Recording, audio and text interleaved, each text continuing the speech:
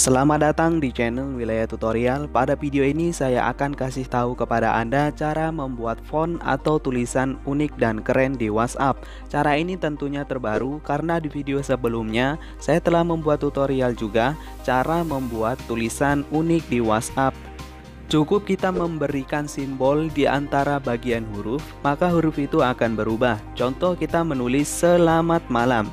Lalu di bagian belakang kita kasih tanda bergaris bergelombang seperti simbol seperti ini. Di bagian depan dan belakang kita berikan simbolnya. Kemudian kita bisa langsung kirim, pesan teks pun akan berubah menjadi bergaris tengah.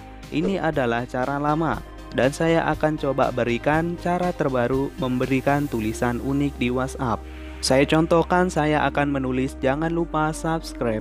Kemudian jika Anda sudah menulis silakan tekan pada huruf yang sudah kalian tulis. Lalu Anda bisa klik titik tiga di bagian kanan.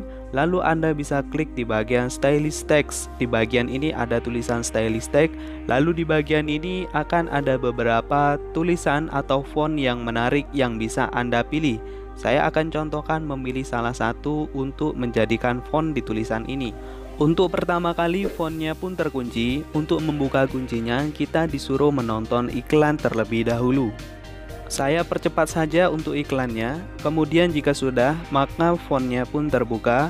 Lalu kita bisa berikan font tersebut terhadap tulisan yang sudah kita buat dan tampilannya pun akan seperti ini.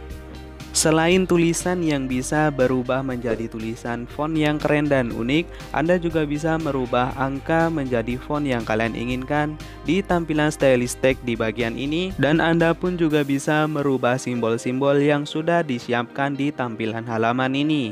Nah, teman-teman, sebetulnya saya menggunakan aplikasi. Aplikasinya adalah Stylitext. Silakan Anda download di Play Store. Anda bisa download juga linknya di deskripsi.